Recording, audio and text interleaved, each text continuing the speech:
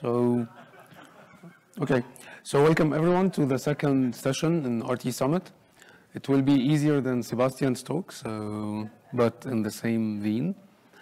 So the topic of the talk is if you are developing a driver for Preempt RT or just submitting a driver open source, how do you know that when RT becomes mainline or even with Sebastian releases, probably your driver will not cause a problem and it will work as smooth as it is intended.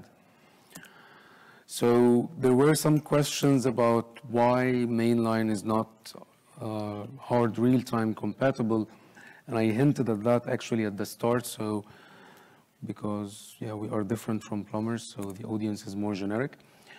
So when people usually talk about preempt RT, there is first the the kernel releases, which people call preempt RT, which basically say uh, 6.5 minus RT1 minus RT2 and so on.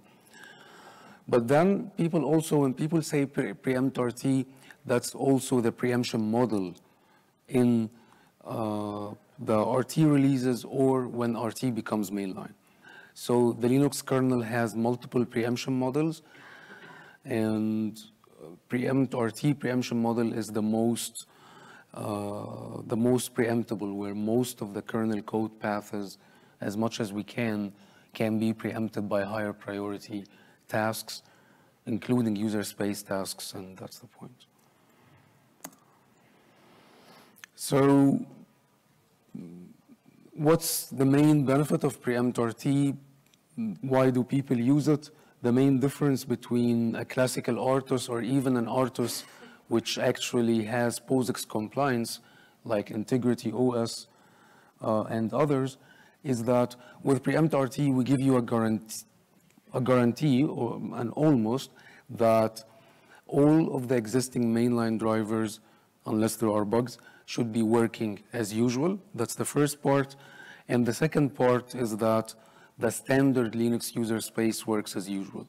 So all of the well-known components above the Linux kernel should work with preempt RT.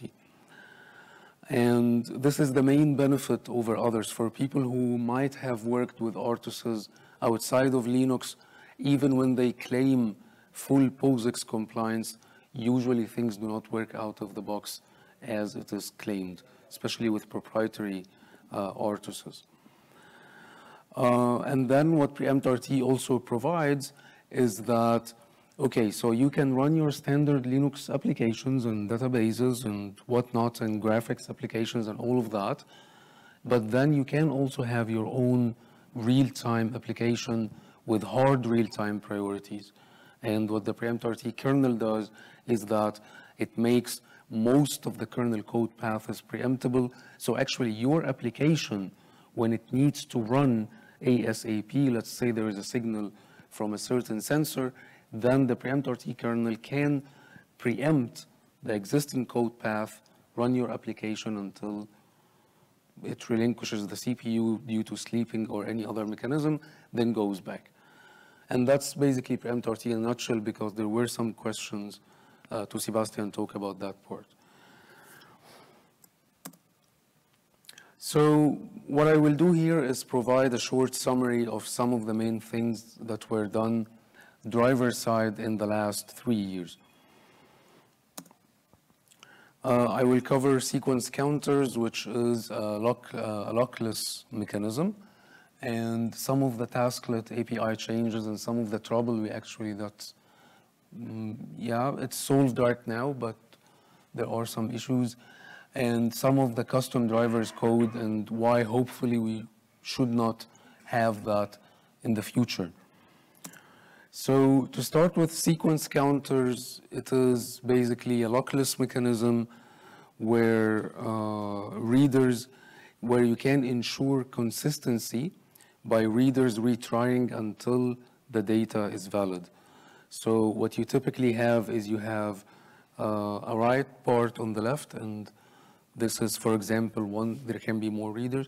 So uh, here is one reader, and uh, basically the reader keeps retrying until the counter is uh, even, which implies that actually the data section is valid and then it can read the data.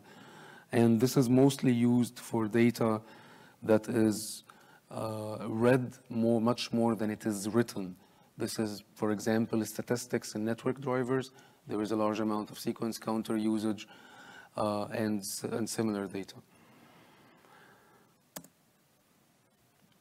So for preempt RT-wise, now the Linux kernel had sequence counters for a very long time, uh, but for preempt RT-wise, there was the issue that there, there were two issues. And the first one is the write section always needs to be uh, protected within itself, right? There cannot be multiple writers to make sure that the data is consistent.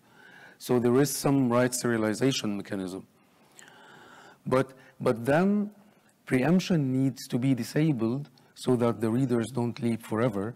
And the moment we disable preemption, when we talk about preempt the moment we are not happy because disabling preemption means latency, right? Remember the slides I had mm, four, four slides ago when I talked that you might have your user space application and it want to respond to an event. So in any case in the kernel, if preemption is disabled, then practically speaking, your RT application is blocked. And that's actually latency. Exactly this is what latency is about. And this is the whole purpose regarding the questions on the previous session, the whole purpose of RT. We want to make sure that we run your application as soon as it wants to run. Uh, the second problem was that since we in preempt RT want to make that path actually preemptible, then there is the risk of the read side looping forever. Because what happened is imagine on a single CPU and the write side is working and then within the write section a preemption happens because your application for example wants to run respond to a certain event and your application then does an innocent system call which goes into whatever subsystem in the kernel and then unluckily unluckily for you you this code path hit the read path of the same uh, sequence counter that was preempted. And this means that the reader will actually loop forever and the kernel will be blocked and basically this core is now over. So that's a kernel bug and the core is dead. And what we did in RT around two years ago was that we made extra safety mechanism so that if we are in RT and we know that the preemption model is the highest preemption model, which is preempt RT, which basically the most preemptible model in the kernel, uh, then we actually do extra sanity checks to make sure that we don't loop forever.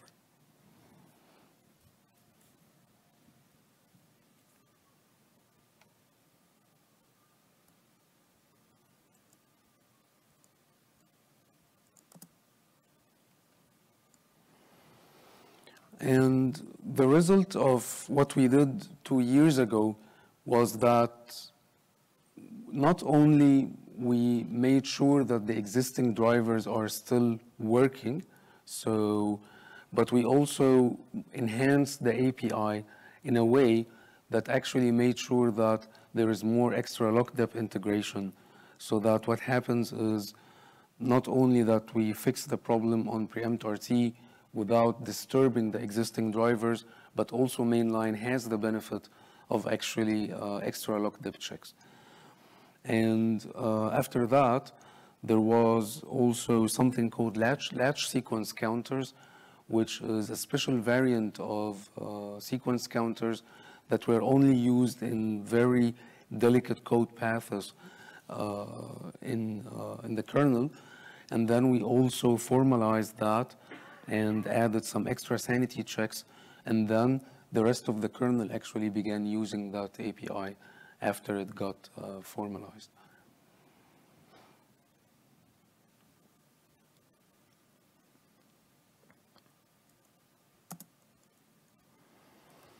So this is one of the patterns. The, the second pattern was tasklets.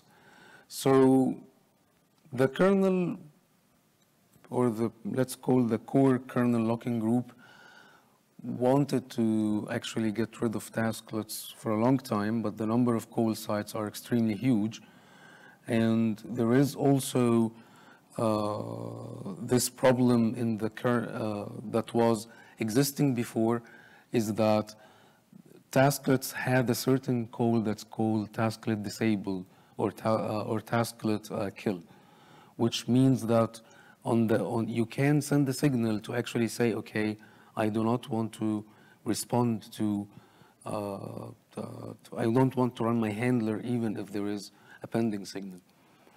And like what happened with sequence counters, this also has the same busy looping problem. So imagine that you are uh, at, at, the tasklet handler, and then again, because preempt RT makes all the code paths as preemptible as possible, so you get preempted, and then you go to a code path which calls tasklet disable on the same tasklet that was preempted, okay?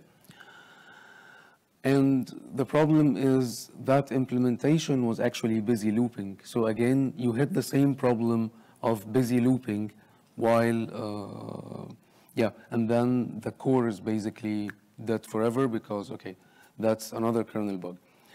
And we hit this kind of looping mechanism in a lot of areas, and this is one of the most common patterns. So there was also uh, certain code paths in VFS where there was the same pattern, and we also had to uh, uh, yeah, invent mechanisms to actually avoid this problem in, uh, in RT.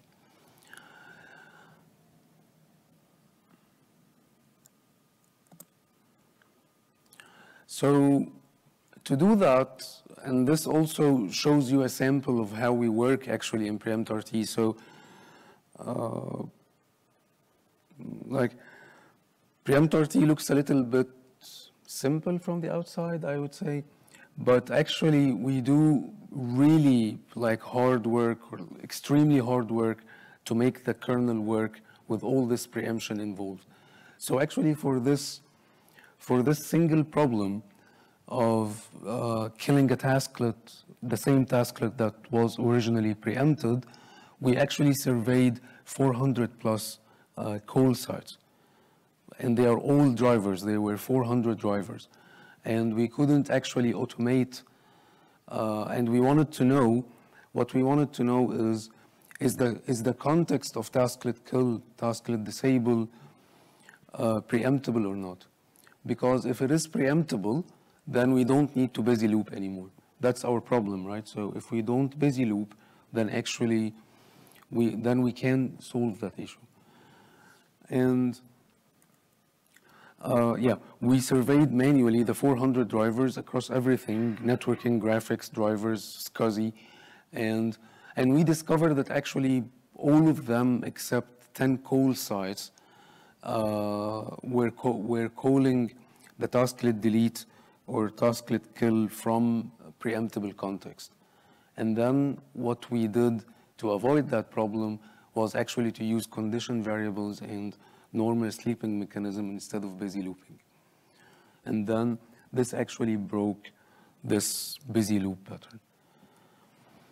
Uh, yeah, and I want to stress that this is a big part of what we do in PreemptRT. We always try to, because the moment you have a preemptible code path and then you have any sort of infinite loop, the moment you risk yeah, killing your CPU basically. And this is in uh, sequence counters, tasklets, and various other APIs.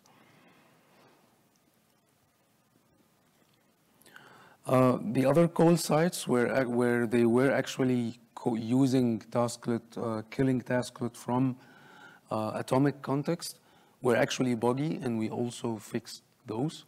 So, uh, and then uh, all of the Tasklet API is now working under the hood without anyone noticing with Preempt RT as well. And uh, Tasklet in general, so there is a lot of ongoing work to remove tasklets from the kernel. It's still ongoing. So uh, yeah, there are some things that can only done through tasklets, and the network subsystem still uses part of these things. But we hope it can be deleted in the future. So.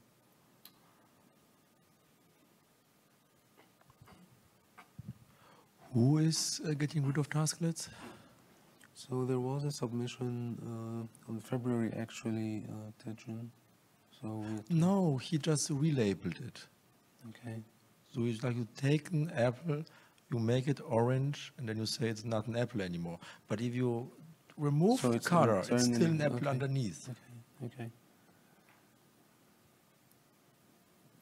Okay. So, and we still also want to keep all the hooks about deleting the tasklets and disabling and all of that. Well, you could move one by one to Tejun's API, yeah. but nothing changes. You still have Kworker with disabling the work thingy. And yeah, so this doesn't change. WorkQ doesn't have the problem because WorkQ has a raw lock for um, enabling, disabling, and scheduling for its uh, maintenance. Mm -hmm. And tasklets may have long looping parts that they don't even have logs for it. Yeah. So that's the other part. If you have long looping parts, which WorkQ doesn't have, then you need some kind of other synchronization. Okay. And yeah, in preempt-RT wise, we will still, yeah. So this is part is done. There is no to-do elements in the future. Well, we could, I mean, I've been looking, networking doesn't do tasklets, by the way. Mm -hmm. I'm not aware of, there are certain drivers that do WorkQ and tasklets yeah. and NAPI, and this is different. Um, SCSI has a lot of drivers that outsource to tasklets. Yeah. And they have also this poll thingy, which is the NAPI copied by Christoph.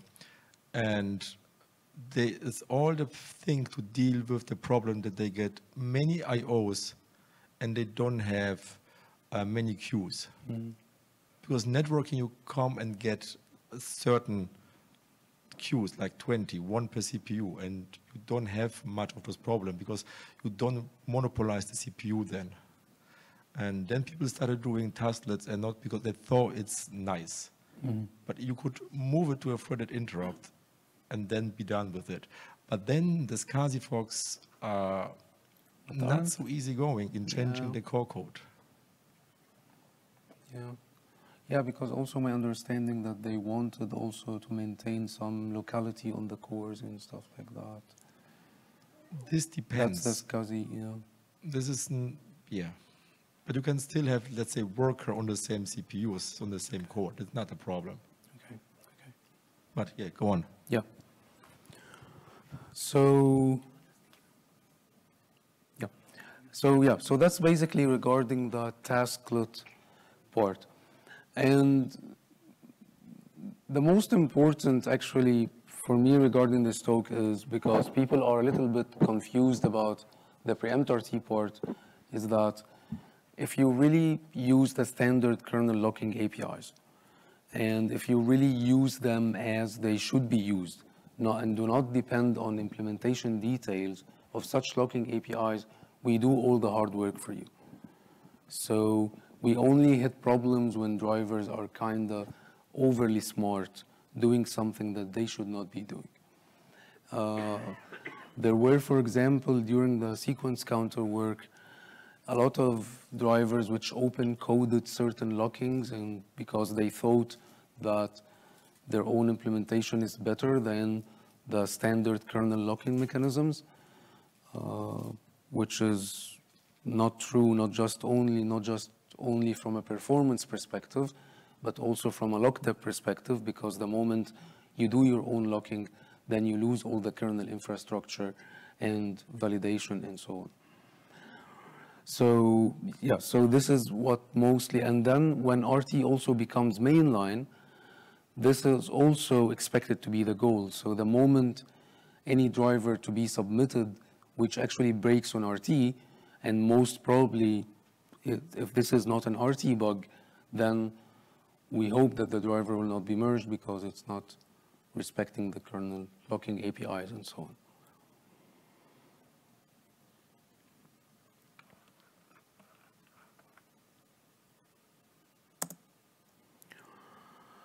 So there was also, and this is the same pattern of drivers being overly smart or drivers trying to yeah, do low-level yeah, checks or low-level implementation is checking the context. So there were some macros that were added by the locking subsystem in certain parts of the scheduler to check the context, whether it is, are you in preemptible context? Are you in hard IRQ context? Are you in soft IRQ context? And, uh, and the problem with these macros was that their semantics actually was different according to the preemption model of the kernel. So whether you have like preempt-RT or you have other preemption models, then the semantics was different. Uh, and if and even if you have something like config preempt count, and if you have uh, a certain number that can actually, for example, preemptible might return always uh, false, and then some drivers and some subsystems were actually using these macros to automate memory allocation and so on, uh, to doing the memory allocation whether through GFP kernel or GFP atomic and stuff like that. Uh, yeah, and this also hurted us considerably during preempt-RT. And we did also the same thing. So just like the tasklet use case, where actually if you download the slides, there is a link to a Google Sheet where I show the survey, all the surveys that we did. We also surveyed all, all the call sites. And for example, in the SCSI subsystem, there was libsas, and certain other components where we had to manually pass the context to the APIs and instead of making the APIs act smartly and try to find the context and adjust the memory allocation accordingly. Uh, and the benefit of that, we actually added rigorousness and for each commit, we actually showed the full context analysis of all the call sites and then we had a proof that the driver or the driver subsystems don't actually need that much to do all these context checks. They, it, it's much better to actually be explicit about it, know your context, and just submit it as a parameter according to the call site. Uh, and the same with USBs and so on. Probably the last thing that's actually uh, now in modification in driver's land is the printk ongoing work, so regarding atomic consoles and so on. And this is actually most of Sebastian's patch queue right now, all the console uh, locking that was added. Uh, and there were also some uh, code in graphics drivers and so on in DRM and i915 and so on, where there can be open coded, for example, disabling and enabling interrupts and instead of, for example, calling spinlock IRQ save and so on. But after actually the printk merge, the full merge with all the drivers mainline, then again, we stress that if your driver is using the kernel locking APIs as they should be, and do not and and is and does not depend on the implementation details of the locking APIs, but actually implement on their well spe their specification, then your driver should work out of the box. And that's actually the entire job of preempt-RT. We all what we want from pre all what preempt-RT wants is to utilize the existing wealth of all these drivers that has been written for 15 years for all the different architectures. And with all that, still run all the standard Linux user space and then provide hard latency guarantees for high priority real-time applications. And yeah, and that's basically it regarding drivers and preempt-RT. If there are any questions, I would be happy to answer, and I would also be happy to answer the question that was the last question in previous session about why preempt-RT is special, and if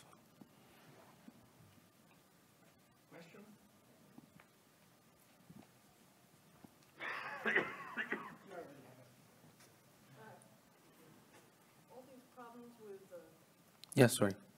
all these problems with open coding. and- okay, And, uh, I'm not sure if it's recorded, but I can hear it, so I don't. oh, yeah.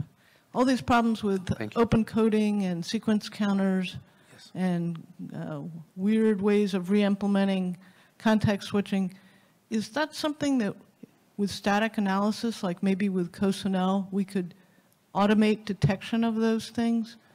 Uh, Or would that just be too hard because all the weird things that people have done are too different from one another?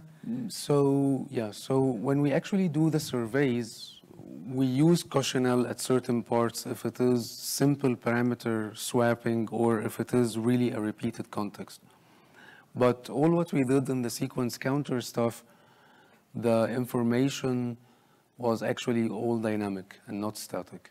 And this is why we had to go through all these hoops where we actually change the internal locking implementation. So, so when we do, for example, the survey for tasklets, we had to do the 400 drivers manually. And like I shared the sheet with Sebastian and like we divided like 200, 200, and then we had to check each one manually because we couldn't actually automate the part of knowing if the call site context is preemptible or not. So we wish it can, but we still, in, in, in a number of cases with these surveys, we cannot. But um, one thing I would like to add is, um, first of all, you have to see things that fall apart. Then you know what you have to looking for. So um, we have seen a case where the tasklets uh, um, looked up because of the API. And then we had a workaround for it for years. And then we tried to solve it properly. And then we had to look exactly for a tasklet thingy. The same goes for the other parts, like in interrupt. Most of the people using it were not doing it for the reason they thought they were doing it, right? And so if you want to help the open coding at some point, um, sure you can do it, but you have to know what you're looking for. And the best way is actually to abstract it with the API so that the people don't try to open code it. And nowadays, if you switch the preemption model and it fails to compile, then you already are at the point that it doesn't compile anymore because of the open coding that is not, not working anymore because the members are gone, are different. And then you are at the point that the K-robot may reply to your patch that this isn't compiling on RT and you're done with your extra work. But that also just, but that also assumes that the open coding depends on internal details. So, for example, the sequence counter stuff was failed during runtime, so not even during compile time. So, yeah. So.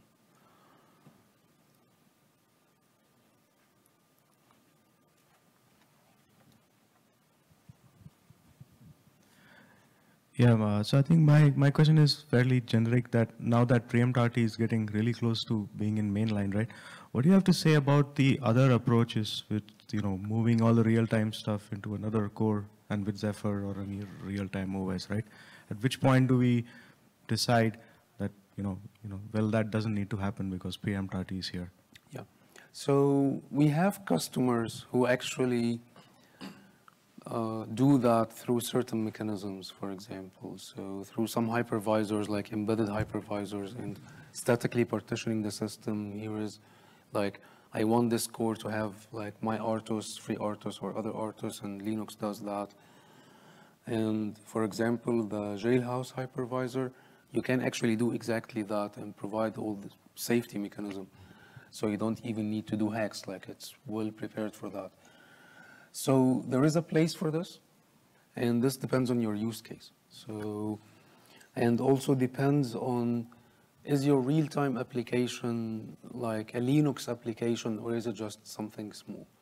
So the whole benefit of this picture basically is that when I say the real-time applications here, these are still standard Linux applications. And we require you to do some stuff like in the, in the locking and the POSIX APIs and stuff, but it's very minimal. And we have it in the RT Wiki, just like five steps. So this is where it depends on your use case and your latency requirements.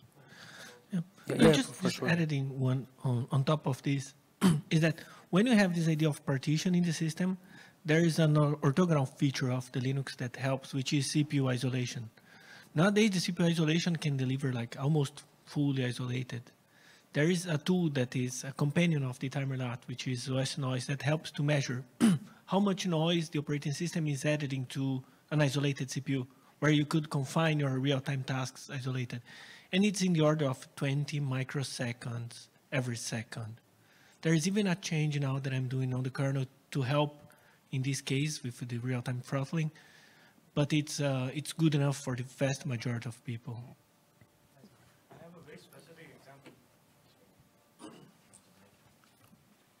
So I have a specific common example, which is audio, right? I mean, a lot of audio needs to be on Linux, but still a lot of SOCs have their own art, RTOSs running Yeah. on DSPs and things like But, that. but audio is actually a really good example of this, of the preempt RT case.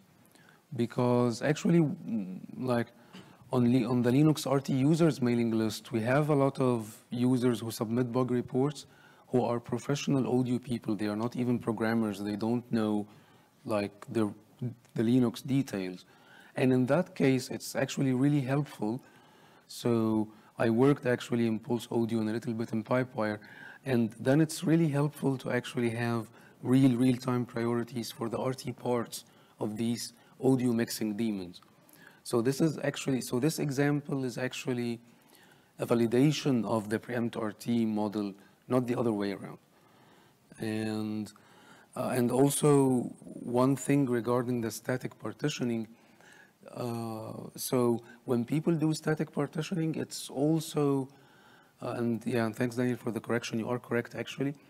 It's not only for performance, also for safety and standards compliance and stuff. So sometimes people want to have their RTOS like certified by certain, uh, there are multiple safety certifications, and then there is a benefit, not just a performance benefit, which, as Daniel said, the numbers are close, but also, uh, yeah, safety verification benefits until the ELISA folks like go on, but the ELISA is still R&D at this moment. Yeah, so. Did that answer your question?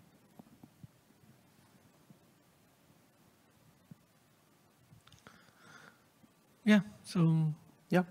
If we don't have any more questions, we can do a, a pause, have a, have a coffee, and, and return at the 11, which is the next slot, right? Okay. Thank you, everyone. Thank you.